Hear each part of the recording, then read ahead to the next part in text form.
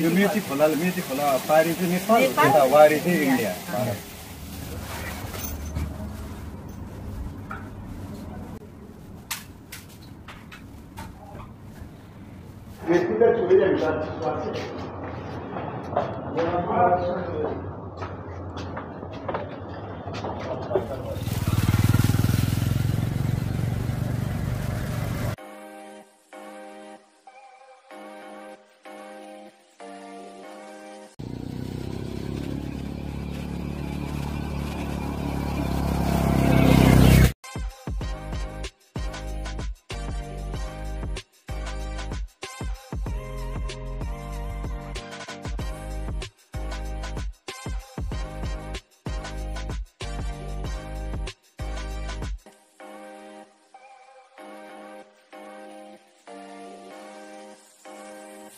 नमस्कार दर्शकबिन म दिप राई र हजुरहरूलाई फेरि पनि मेरो युट्युब च्यानलमा स्वागत गर्दछु र सिलगढीबाट करिब उन्चास किलोमिटर जति यात्रा गरेपछि म यो टिन्डिङ टी गार्डनमा आइपुगेँ र आजको भिडियो निकै रोचक हुन जाँदैछ किनकि हजुरलाई लगेर जाँदैछु असली फल्स भएतिर।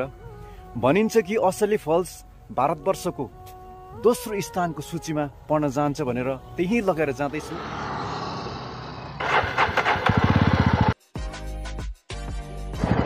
अहिले बाह्र साढे बाह्रको समय भएर सबै हाम्रो दिदीबहिनीहरू खाजा खानेतिर आफ्नो घरतिर जाँदैछन्।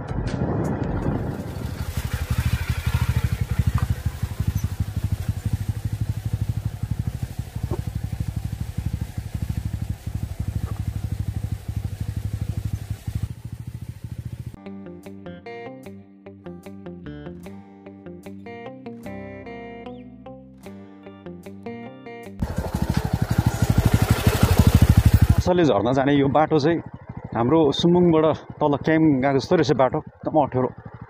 अप्ठ्यारो साथै यहाँ साँगुरे घुम्तीहरू।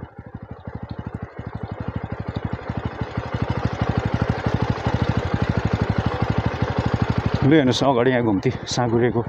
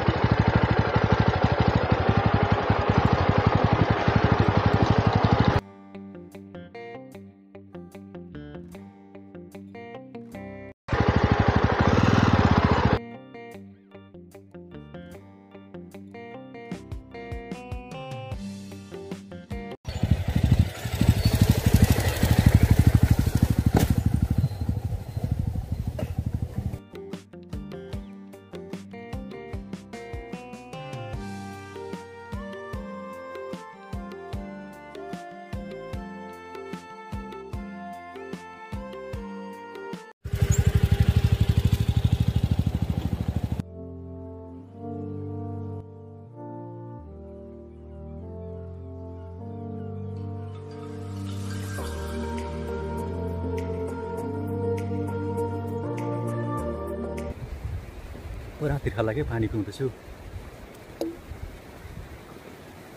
ल थ्याङ्क गड यहाँनिर क्यान्टिनमा खाना रहेछ। अन्त खाना खाने निकै भोक पनि लाग्यो है। टाइम नै बितिहाल्यो साढे एक भयो। असली झर्ना चाहिँ यहाँ माथि पऱ्यो तपाईँको। यहाँ माथि चाहिँ अब यहाँबाट चाहिँ यहाँ तल बाइक राखेर चाहिँ यहाँ माथि हिँडेर जानुपर्छ म चाहिँ है।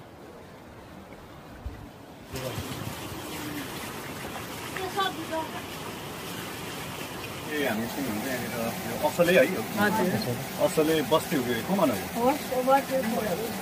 यो कमान हो कमान हजुर यो चाहिँ तपाईँहरू यो घर एउटै मात्र हो यहाँनिर अरू घरहरू छैन राति यसरी यो जङ्गलको बिचमा यसरी घरमा एक्लो बस्दा केही डर डर हुँदैन अहिलेसम्म हामी धेरै बसिसक्यौँ डर वर्ष त होइन कि यो एक वर्ष भयो यहाँ बसेको चाहिँ यहाँ हामी बस्छौँ अङ्कल म बस्छु दुईजना बस्छु काम छोरा- गर्नु जान्छ है हजुर बाहिर काम गर्नु जान्छ यहाँ उता चाहिँ यो नेपाल पऱ्यो है हजुर यो सानो यो खोलाले छुट्याइदिएको थियो खोलाको नाम के हो मेची मेची यो मेची खोलाले मेची खोला पारी चाहिँ नेपाल यता वारी चाहिँ इन्डिया। र म चाहिँ भन्दा नभन्दै असले यो वाटरफल्स खोज्दै खोज्दै गर्दा निकै तल सुन ओह्रालो झर्दै आयो अहिले झर्दै आएर चाहिँ यहाँ म त इन्डिया नेपाल बोर्डरमा आइपुगेको छु यो तल मेची नदी रहेछ मेची नदीको पारिपट्टि नेपाल अन्त वारिपट्टि इन्डिया है।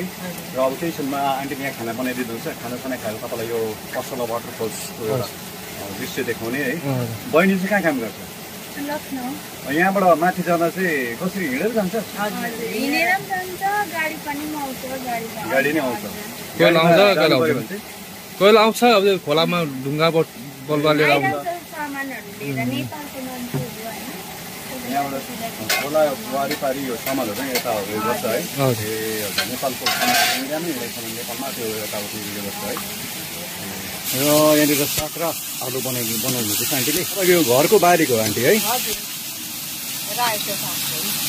हजुर साग र आलु है। अहिले समय भएको छ है। दुई बजेर दुई मिनट गयो अनि भोक पनि निकै लाग्यो। र आन्टीले यहाँनिर एकदम अर्ग्यानिक सब्जी बनाइदिनु भएको छ यो खाने भात। भोक पनि निकै लाग्यो नि त ओह्रालो यो सडक ओह्रालो हिँडेको नै भोक होइन यो असले झर्ना हो। झर्ना यही झर्ना हेर्नु ए। बुलेट चाहिँ होइन बुलेट जस्तो हो यो जाबा हो यो चाहिँ। यहाँबाट चाहिँ पैदल यात्रा। एक किलोमिटर जति पर्ने रहेछ है। र खाना खाएर हिँड्नु चाहिँ अलिकति अल्छी लाग्दो रहेछ। अल्छी लागिरहेछ।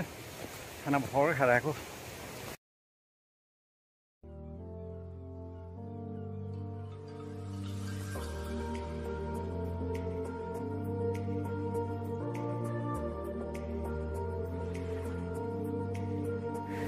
यो सिँढी उकालो निकै रहेछ। र सिँढी उकालै उकालो यो उक्ले उक्लिँदै गएकोले निकै थाकेँ। र अझै दस पन्ध्र मिनट जति दस पन्ध्र मिनट जति पैदल यात्रा गर्नुपर्छ। ठाडो उकालो जङ्गलको बाटो। र यस्तो लाग्दैछ अब असलै झर्नाको नजिक नजिक आइसकेँ र धेरै ठाडो उकालो चढ्नु पर्दो रहेछ सिँढी सिँढी। र यस्तो टन्टालापुर घाममा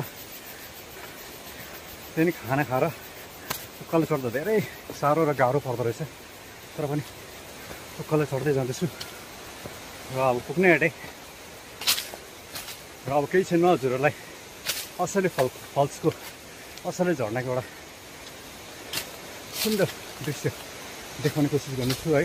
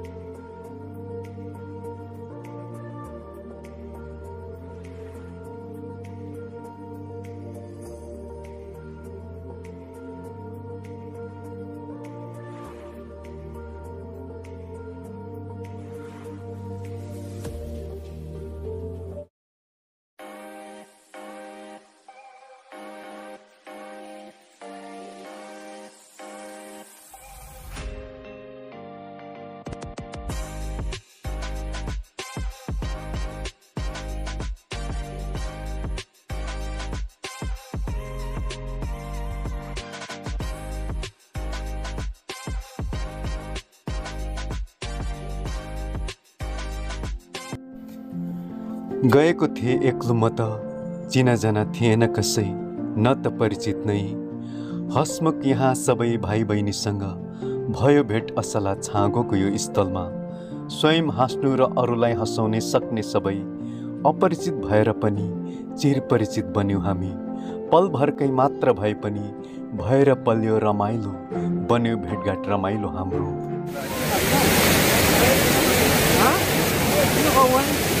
म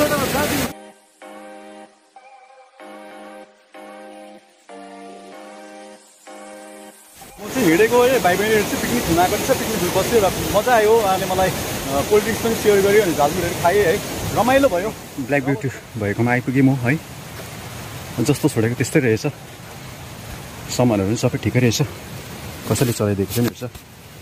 माथि छ नि माथि मैले त्यो हेलमेट र एउटा ब्याग छोडेको छु। अनि त्यहाँ पानी पिउने अनि फेरि यात्रालाई कन्टिन्यू गर्ने। दर्शकबिन असल वाटरफल्सको यो छोटो र सुन्दर ब्लग हजुरलाई मन पऱ्यो होला सायद है। यदि मन पऱ्यो भने प्लिज लाइक कमेन्ट सेयर साथै सब्सक्राइब गर्न नभुल्नु होला र हेर्नुहोस् मेची नदी र पारी नेपाल वारी भारत र माथि देख्दै गरेको असला झरना असला वाटरफल्स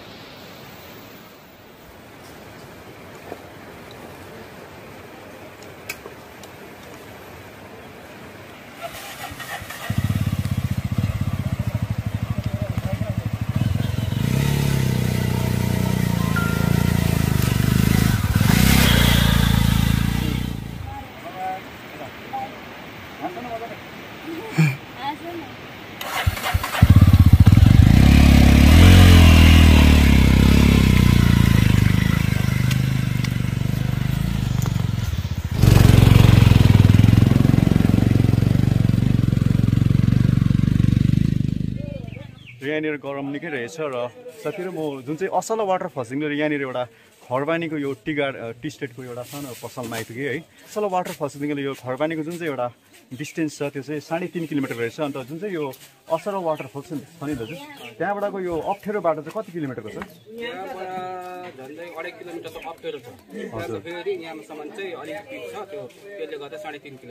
हजुर। अनि जुन चाहिँ त्यो अफ रोड छ अप्ठ्यारो बाटो अप्ठ्यारो बाटो चाहिँ असल वाटर फल्सदेखि लिएर माथिसम्मको कम्ती कम्तीको नै अढाई या तिन किलोमिटरको रहेछ है।